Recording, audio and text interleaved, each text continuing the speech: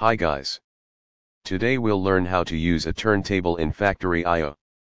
I'll try to keep it as simple and short as possible. So, let's get started. First, we need to add a turntable to the scene. Before programming, we need to know the sensors and actuators we have in the turntable. We have sensors for loading objects on the turntable. That is the back limit sensor and the front limit sensor. We have sensors to know the orientation of the turntable. That is limit 0 and limit 90. We have actuators for loading and unloading. That is turntable roll plus and turntable roll. And one actuator for turning the turntable. Now, let's try to understand how we can use these sensors and actuators for this I have added a pallet just over the back limit sensors. We can see that the sensor gets activated, this can be used to turn on the turntable rollers and we will be able to load the pallet on the turntable.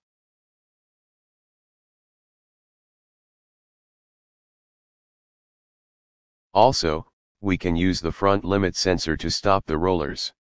If needed we can turn on the turntable turn actuator to turn the turntable.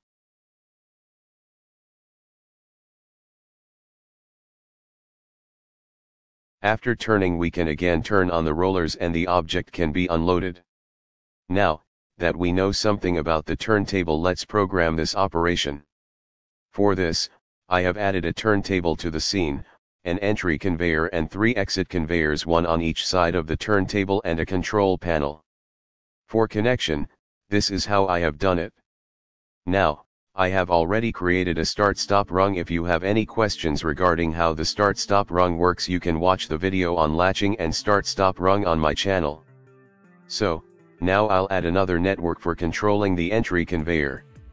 If the start light is on turn on the entry conveyor, if we get back to factory IO we can see that I have forced activated the start push button so I don't have to go back to the panel to simulate the scene. Now if I press play the entry conveyor turns on and the pallet starts moving. Now I'll add another network for controlling the turntable. The logic is the same as we discussed at the beginning. If we program it this is how it looks. To keep it simple, I just loaded the pallet on the turntable when the back limit sensor is activated, and when the front limit sensor is activated I turned on the exit conveyor. If we simulate it we can see that the logic works. And now we can modify this logic to turn the turntable and unload the pallet on the left, or right, exit conveyor. Before that, let us look at the logic. Can you see what is actually happening? Let me show you. I have added, three small conveyors in series. Can you see the similarity? They are the same, the only difference is that, in the case of the turntable, we have sensors built in, and, we can converge, or diverge, objects on the conveyors. What we have programmed now, is just turning on conveyors, when the sensors, before it detects the object. But in case we want to unload the object, on the left, or right, conveyor, we first need to stop the rollers, on the turntable, then rotate the top, after the top is rotated we need to unload the object.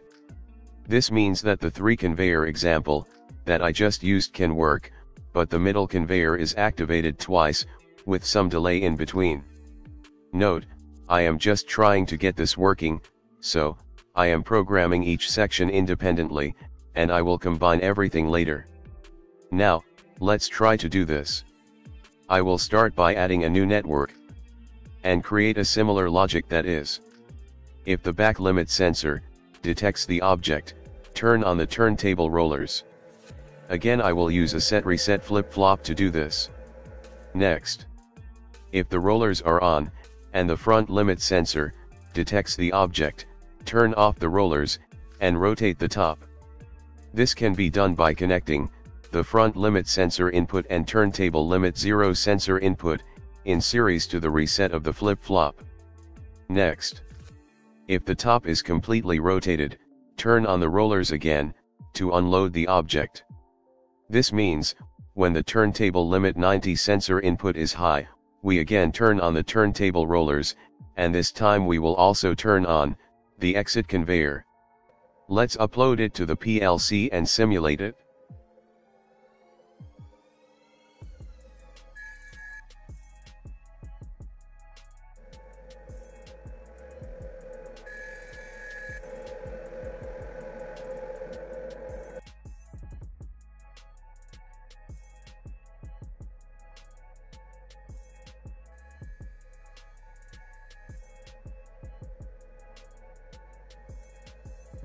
The program is working as we wanted and we can create a similar logic to unload the object on the right exit conveyor. So, we were able to program and use the turntable for transferring objects on all the exit conveyors. However, there are a few issues that are clearly visible. 1. The turntable orientation is not reset after the object is unloaded. 2. The exit conveyors are never turned off. I will combine all three logic to work together and solve all the issues in the next video. If you like this video please consider subscribing. Thanks for watching and I'll see you next time.